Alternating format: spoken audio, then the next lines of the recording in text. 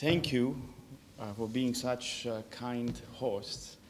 Um, it's been a tremendously um, beautiful experience for me being here and um, uh, and seeing seeing Gil again, who's somehow the connection between all of us. Um, um, it's uh, it reminds me of, of something that I'll talk about, in fact, today, of, of uh, the things uh, one uh, always misses when uh, they are in perpetual exile, uh, meaning that you're never you're never in a single spot. and and Gil has taught me a lot about about, about that and has opened up my mind in, in many, many ways that I can go on and on about, but I won't. Um, so what I will discuss today is not really urgent uh, in the sense that uh, in urgency there's something abrupt and perhaps even what we can call new. Uh, it's not new. Um,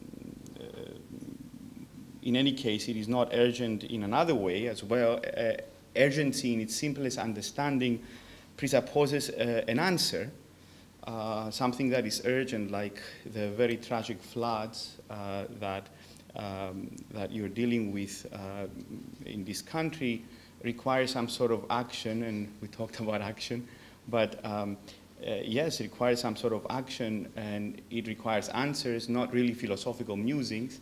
I'm not sure if I will provide uh, any definitive answers. Um, in fact, the, the, more I feel I at least come um, close to a certain certainty, uh, feeling that I have answers uh, to, to the questions that, that, that bother me and that I'm anxious about, the more anxious I become. Um, so um, questions really lead to more questions and, and, and these questions to more anxiety, which is, of course, crushing, but it's also productive. Um, and I'd like to be, be more clear about that so that I can um, um, get into my topic. I moved from Brown University about three and a half years ago. Uh, I was teaching in the Department of Comparative Literature there. Um, there I was perceived as a scholar of uh, mainly modern Greek studies, who was also doing, uh, like most of us, some theoretical things. Um, but the identification was clear. Um, in Cyprus, things changed at the University of Cyprus when I moved for no particular reason. It just happened. I moved there. Um, the, the, um, the, the, field is different. I'm known as the theory guy. um, who, uh, because everyone is doing modern Greek literature in my department, Byzantine and modern Greek. Uh, so, so uh, what, what came to distinguish my work uh, has been theory. Um, the cultural context, the academic context is entirely different, and that caused me to return to some questions, uh, some very basic uh, questions of how we do our work uh, when we work on, on national literatures on the one hand and theory on the other. So um, I have a whole, a whole thing here that I'm not going to get into because it's very powerful and it's going to, uh, I think, here's what I have. I'm not going to, I'm not going to even dare to, to, to, to go into the ninth thesis of, of, of, of Benjamin, which is a, it's, it, it's, uh, uh, Nono read the eighth uh, thesis uh, yesterday. This is the ninth. And, but I, I can tell you very simply uh, that this, for me, is a good, um, it's a, it's a good explanation or a good metaphor, if you will, of, of, of uh, the state of theory as I experienced it um, uh, in the past few years, meaning, meaning that this um, chain of events that we see as history and on the one hand, in this great catastrophe that is history that Benjamin talks about, seems to me uh, when we look back at theory uh, and, and, and all the kind of theoretical approaches we use to interpret texts or, or, or, or other things, uh, or, or, other actions or gestures, um, uh, it seems it seems it often seems to me like they pile up in um, um, in, in, in a heap of, of, of, of rubble, uh, rubble heap, as, as, as uh, Benjamin calls it, um, and I'm trying to make sense of that. So, in order to make sense, let me begin by saying that I've thought a lot about post-structuralism, not in the specific, uh, in any specific use of the term, but in the general sense of a kind of decent, decentering, meaning that post-structuralism, as you, as you know, uh, it's a very general term that, that, that, uh, that is used in the academia to uh, refer to something, a process, if you will, of, uh, of not um, trusting uh, any definitive statements, whether, they, whether these statement, statements have to do with ethics, with identity, with meaning, um, and so on, desires, presuppositions, intentions. Uh, it's the challenging of the, of the very foundations of language. Um, it's uh, the way we talk when we do theory, which is, uh, not, I'm, I'm, not being critical, this is something I do too. That's what I meant when I said I had to rethink about some of these, these things. The question of why are we using a kind of language that is very difficult um, uh, outside this room uh, for, for uh, anyone to understand what we're talking about. Uh, what, what has uh, led us to this point and what is the function and can we talk of an alter alternative language uh, perhaps? These I came face to face with when I went back to Cyprus. It's, a, as I said, a vastly different academic environment. Um, uh, I guess we get a feeling of that when we teach uh, where we, we're, we're obliged to be more uh, clear. Um, uh, not so much in conferences, but in any case. um, so uh, what I would like to do with that, with the notion of this decentering, post-structuralism, again, this very general understanding, um, um, is, is uh, kind of paired with this notion of, of, of the ethnic. And a clarification here, I call it the ethnic, uh, not for any uh, particular reason except that in Greek there is no uh, alternative word for, for the nation, for nationalism, if you will. It's ethnos, we have no distinctions. distinctions. So it's, the nation is ethnos, ethnikismos is nationalism, it's all, it all boils down to that term, uh, the, the, ethnic, ethnos, right? Um, so one of the things that happened with the advent of uh, post-structuralist theory uh, is th this very challenge uh, of, uh, of, of, of, the nation, of the national narrative, uh, and of doing um, of interpreting li literature in the, uh, uh, let's call it, in the traditional way of, of uh, seeing the, the nation's narrative through this literature. Um, literature in this context, uh, among other things, is perceived as an ideological vehicle of the nation state, of the state. Um, and of course, you can see that in the way uh, literature has been appropriated by, say, the state in secondary, in primary and secondary education. So if you go, if you look at some cases, this is, I'm sure is something that you, you're familiar with. If you look at some cases um, across the world uh, of the attempt to revise history books in the past, just the past decade, it's impressive to see how many controversies arise from this uh, attempt. Um, there have been such attempts in Japan, in Albania, um, in India, and of course uh, in Greece. Um, in Greece, the attempt to change history books, uh, give an alternative version of history, has been met with uh, a lot of resistance, um, particularly the events having to do with the 1881 uh, revolution against the Ottoman Empire, but also the civil war of the 1940s, uh, have been under scrutiny and uh, um, again any attempt to, to, to, reconsider these events is met with um, uh, resistance. Um, now the, the, uh, to add to that, there is, uh, as you again may know, a, a rise of the ultra-right in Greece.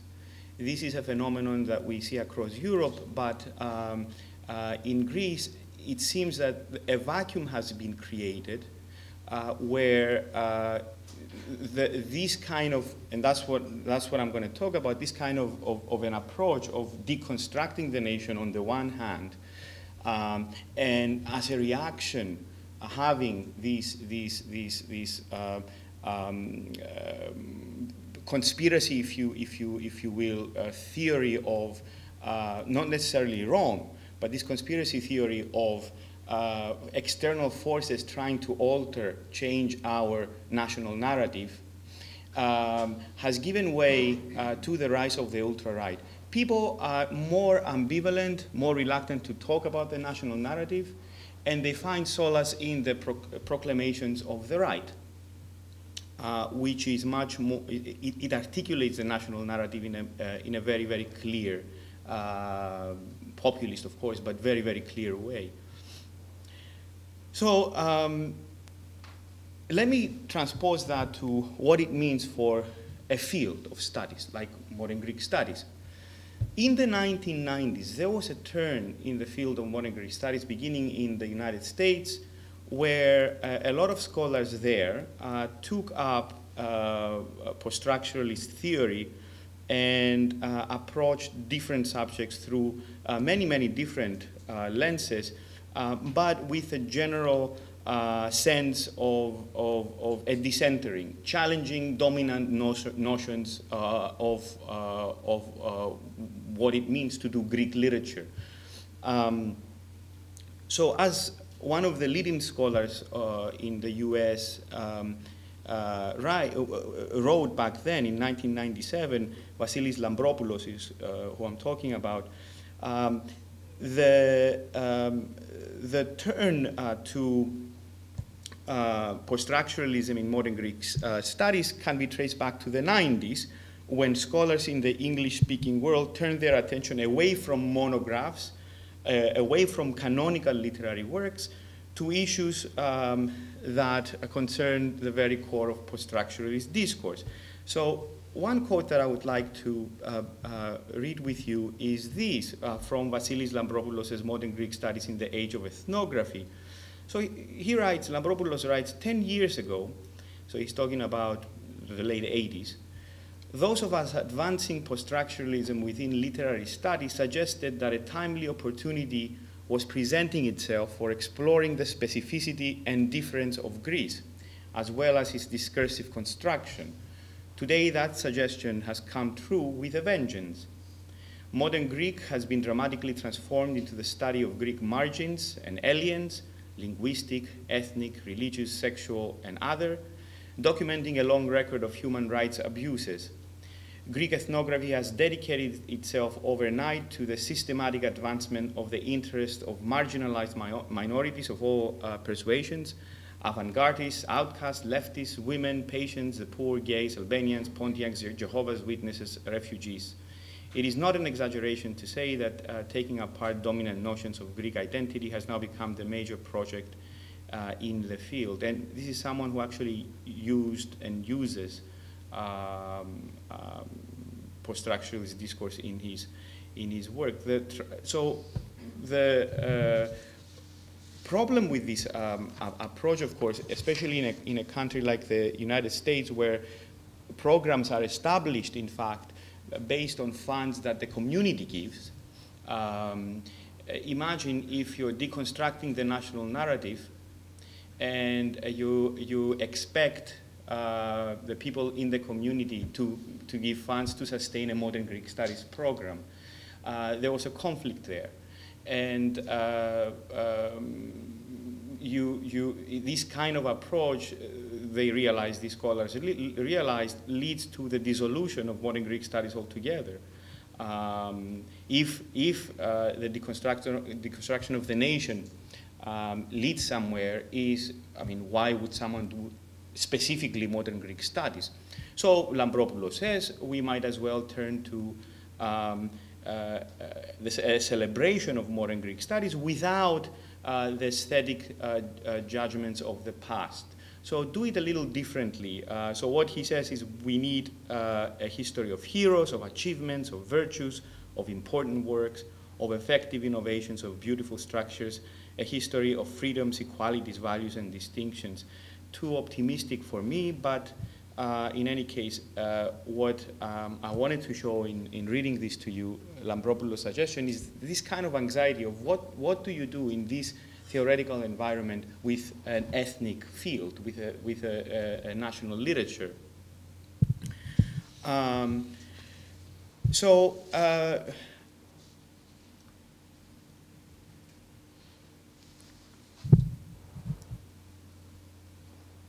what strikes me and I see it even more emphatically now that I have uh, returned, um, is how much any kind of utterance, any kind of statement about Greek literature uh, in uh, the Greek university setting is concerned uh, actually with the idea of the nation.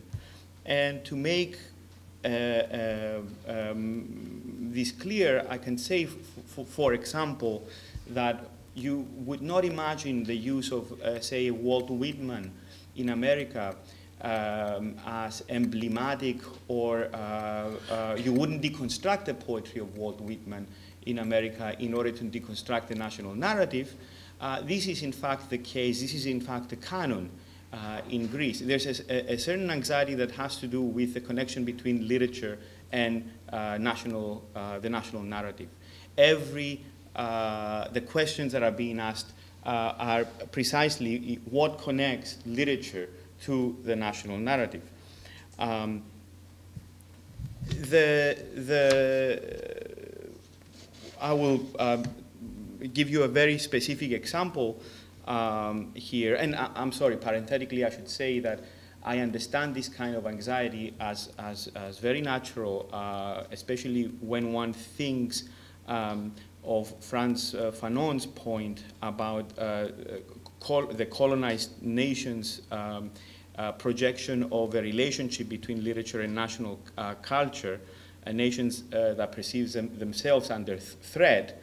Um, and I say this because there's a lot, a lot of work done on, on, on the relationship between Europe and Greece um, as a colonial relationship. Stathis Gourgouris is, is, was one of the first to, do, in fact, do that uh, in his Dream Nation. Um, uh, so let me focus on a very specific example. One of the most important generations of writers in Greece um, is the generation of the 1930s. Uh, English-speaking audiences may recognize uh, George Seferis, for example, uh, or Odysseas Elytis, uh, that I have been working a lot um, on, his, on his work, um, because they both received Nobel Prizes. They've been translated wi widely. Uh, so two very well-known poets that belong to this, this same generation that is active, beginning to be active in the 20s and especially in the 30s. Um, now, this is a generation that uh, what did they, why are they so well known in Greece? Why are they so important in Greece? They're very important in Greece because this, uh, uh, their approach uh, created a kind of rupture in, in, in the way Greeks, uh, Greek poets saw themselves and their position as Greek poets. In other words, um, they argued that we should move away uh, from European stereotypes about Greekness that always filtered an understanding, uh, filter us through the lens of us Greeks, right? Filter us uh, uh through the lens of antiquity. They always understand us through antiquity.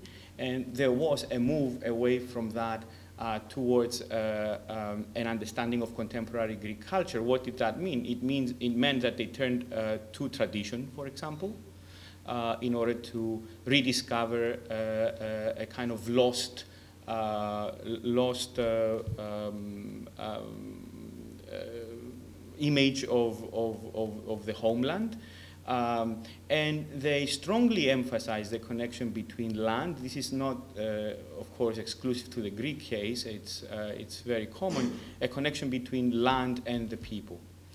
Um, so um, at the same time, I should say that this is a generation that, that is uh, very heavily modernist in the sense that there are they follow developments in the West. Uh, Elytis, uh, is immersed in surrealism, into the movement of surrealism in the 1930s. Uh, George Seferis is very close to T.S. Eliot, uh, and so on. But uh, a very good example of this turn away from the West is uh, Elite, Odysseus Elytis' first collection is, the title is, or his title is, is Pros Anatolismi. Uh, which uh, means something like, like orientations, pros anatolismi. But in Greek, pros means towards, anatolismi, uh, as you know, it's uh, the east. So towards the east, away from the west, towards uh, the east. It was an attempt to change the way um, Greek poets, Greek writers perceived themselves. There are many such examples. I'll give you a second one uh, this is a generation that uh, suddenly turns towards the islands. They write a lot about islands. Back then, I mean, it was, it was ridiculous to write about islands, especially imagine that in the, in the modernist tradition, in the, modern, the, the tradition of the city, right? Um, there's a lot of, uh, in, in the 1930s, there's a lot of uh, literature that emerges um, about Greek islands. And of course, that's part of what I was saying, a turn to tradition, a turn to forgotten territories uh, of Greekness, let's, let's say. Now, recently, this is a narrative that many scholars in Greece have attempted to uh, revise, uh, to reconsider, to criticize. Um, there's many books I mentioned um, a professor at the University of Athens, Anna Zouma, who uh, wrote a book titled uh, A Hundred Years of Nostalgia, the autobiographical narrative of the nation, where she argues that the generation of the 1930s propagated hegemonic ideology, uh, which she hegemony here she equates with national identity, uh, first by associating Greekness and geography, therefore saying that these uh, uh, poets, by connecting geography, the land, uh, to identity, national identity, what they did, what they did was to naturalize, um, was to naturalize um, national identity. It's natural to be Greek because you live here. Um, uh, second, uh, um, she argues, uh, well, okay, I won't get into that, but there's many more examples. Haris Vlavianos, a, a well-known scholar and a better-known poet in Greece, recently even attempted to uh, connect uh, the poetry of the burning of books during Nazism uh, to uh, the kind of ideology that he considers to be very uh, nation-centered. Um, so he's connecting the poetry of Elytis to, to Nazism. Um, a more serious attempt, um, I mean, these are extreme exa examples. Not that the third is not extreme, but I'll try to, uh, uh, to talk a little bit more about that. Antonis Liakos. Um, I don't know if some of you might know Antonis Liakos. He's a, uh, uh the best known professor um, uh, of history in, at the Panteion University in, uh, in Greece. Um, and he's been leading this kind of attempt to deconstruct the national narrative. That's what he does. Um, so uh, here's, I'm going to read, I'm going to read a, a, passage so that you see um, how uh, uh, this process unfolds that I translated. Here it is. Through these experiences, and he talks about the, the period, the experiences leading to the generation of the 30s, um, through these experiences came first a popular reading of the hegemonic scheme of history, as, and secondly, a connection between history and aesthetics. I'm trying to, to read this carefully, a connection between history and aesthetics. The popular reading of history meant a plot in which the Greek people were the victims of foreign intervention and popular efforts for progress were frustrated by the opposed regimes the Marxist and anti-imperialist spirit of this time is obvious in this reading. The connection between history and aesthetics meant the historization of aesthetics and the aesthetization of history. This is not as difficult as it may sound. In fact, it's very simple what he's saying. But uh, the discourses during the interwar years about Ellinikotita, the equivalent of Hispanidad or Itali Italianità, resulted in a search for authenticity in the tradition and contributed to a consideration of history as part of the aesthetic canon, from the high cultural activities to popular entertainment, the modernist poetry of Yannis Ritsos, Seferis, Elytis, and the popularization of poetry through the music of Mikis Theodorakis and Manos Hadzidakis in the post-war period spread this uh, sentimental uh, affection uh, for national uh, history. So um, the major problem that I see here uh, with Liakos's reading uh, is linked to the old Marxist question, in fact, of the relationship between aesthetics and history. Um, so anyone familiar with non-canonical uh, uh, literatures uh, will inevitably have to come to terms with the overt link between uh, national culture or identity and aesthetics. Uh, this is something I imagine that this is what Partha Chatterjee means when he says that um, uh, colonized nations uh, turn to tradition during uh, periods of uh, uh, in insurrection. this is a kind of turn to tradition that enables resistance to what they see as, as, as, as um, um, as a, a, power that is much more advanced technologically. Therefore, how do you deal with this? You deal with it through tradition. You deal with it through um, spirituality uh, that we have. Uh, culture, we have a tradition. You might have technology, but we have this, this kind of pride, right, in the in the in the uh, in in national uh, uh, culture. Um, again you, we might think uh, as that, that, that essay that was criticized much, but nevertheless I'll, I'll, uh, I'll mention it, um, by Jameson, Fredric Jameson, Third World Literature at the Age of uh, Multinational Capitalism, where uh, this is what he, precisely what he uh, tries to understand, the connection between uh, literature in what he calls the third world and, um, and um, and aesthetics, uh, that there's a, a, strong preoccupation, right, with, um, with, uh, with the nation in these um, places. Um, so Fanon writes that the link between national culture and the people's understanding of their literature um, and uh, resistance to um, hegemonic impositions is a, a presupposition for resistance to colonialism. Um, so far from being autistic, self-absorbed, backwards, the literature produced in these uh, places frantically, frantically attempts, first and foremost, for me, to place peripheral cultures on the map. This is what Fanon was writing vis-a-vis -vis Algeria. If culture is the expression of national consciousness, I will not hesitate to affirm that in the case which, uh, with which we're dealing, it is the national consciousness which is the most elaborate form of culture. National consciousness, which is not nationalism, he says, is the only thing that will give us an international dimension. It's the only thing that will give us an international dimension. Um, so to dismiss national literatures as mere vehicles of the nation state uh, is, um, in a sense, absurd.